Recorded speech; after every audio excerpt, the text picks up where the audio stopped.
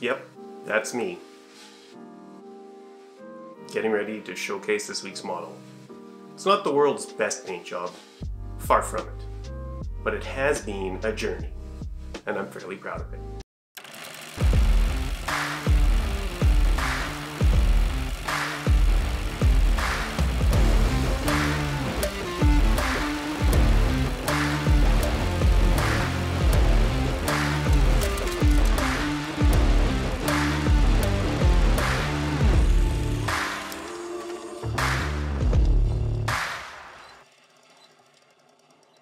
Hey there hobby friends, thanks for checking out Caffeinated Miniatures. Over the past several weeks I've been painting up my Seraphon army and while I've generally been pretty happy with the results I've been getting, there's been one model looming over me, the Skink Starpriest. It was one of the first models that I had painted and primed, but I had yet to paint it. I think it was all the feathers that kind of, I don't know, intimidated me. Feathers tend not to have clear delineation points for colors and for patterns, and for whatever reason, I found that concept super daunting. So this week I decided to pull on the big boy pants and paint this feathered bastard.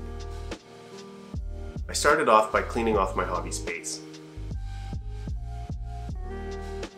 With the idea that cleaning off my physical space would clear out my mental space. kind of start off fresh without any concept of this being a daunting model. With a clear space, a, a mostly clear mind, and a fresh palette, I was ready to go. As with any skink, the majority of this model is skin, so I started there.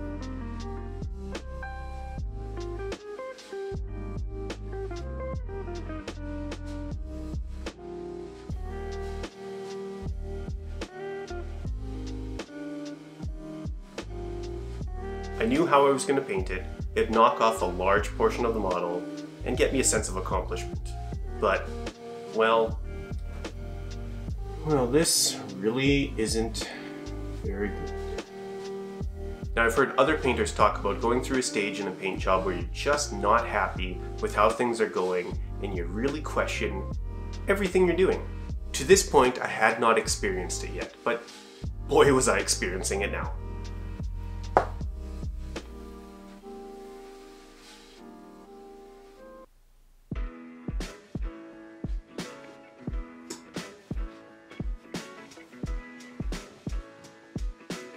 After stepping away for a while, I came back determined to slot paint all over the model.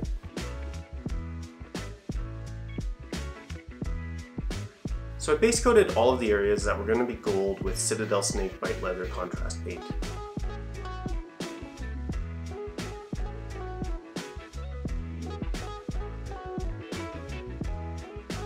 I found that starting with a warm brown as a base coat really makes the end product for the gold much richer and deeper in color.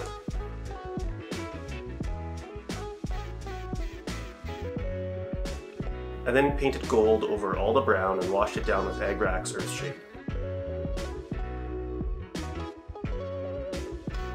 Once that was good and dry, I highlighted with the gold followed by silver. Trying to focus on the areas most exposed to the sun.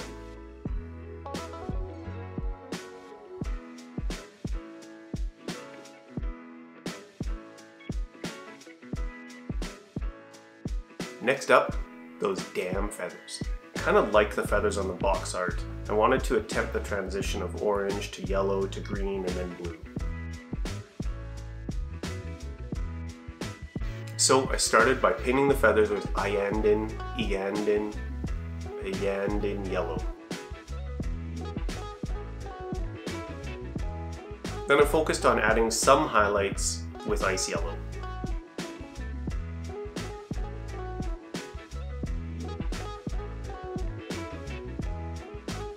Then watered down Gryph-hound Orange to glaze in the orange color to the base of the feathers, and did the same with Akhelian Green, which is quite blue at the tips. At a very low opacity, the blue tinted the underlying yellow-green, and as I built up the opacity, it became more and more blue towards the tips.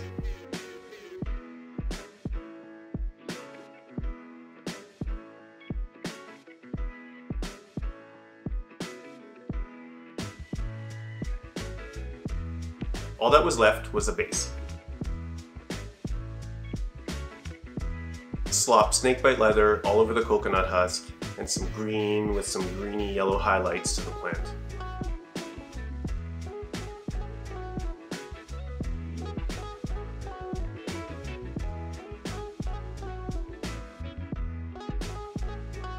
I wanted a bit of an earthy, overgrown kind of feel to the stone step things. So I started with Gryph-Charger Gray to set the base gray tone. Then I did a fairly heavy dry brush of a bony off-white.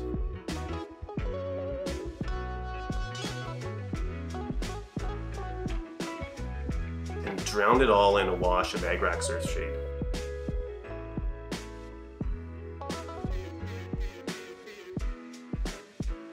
Glue the skink onto the base, chuck some grassy, mossy bits down. Bob's your uncle, Fanny's your aunt, and we have a completed model.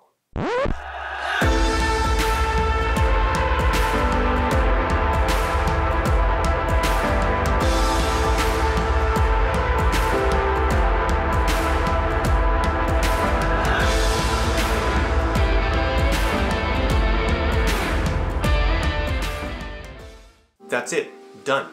It was quite a ride, and I'm fairly happy with the end result. If you're anything like me, all you'll see when you look at your completed work are all the areas you wish you had done differently or the things you could improve upon. There's just something uniquely cool and fascinating with this hobby. I feel like I learned something new or made some small improvement after every single project. After I'd finished these feathers, I kind of wanted to go back into the skin again, knowing that I could have done it better. Instead, I'll call this one finished and leave it as is. And hopefully, in a month, year, in five years, I can look back and see how far I've come. Focus on the process, not the results, and enjoy that process. Thank you so much for watching this today. If you've made it this far, that is the universe telling you to like the video and subscribe to the channel. It's absolutely free to you, but it tells the internet gods to take this video and send it out to more people. As always, I appreciate you. You're awesome, and I'll see you in the next one.